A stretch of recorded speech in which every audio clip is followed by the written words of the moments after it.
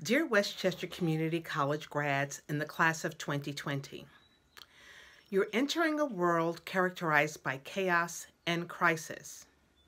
It's a world that needs competent, compassionate, and qualified people to put their skills and their minds to work for good purpose. You've invested in your learning and you've prepared yourself for this world. You are ready. Go and seize the moment. Find your opportunity and make a difference. Enjoy this moment of achievement.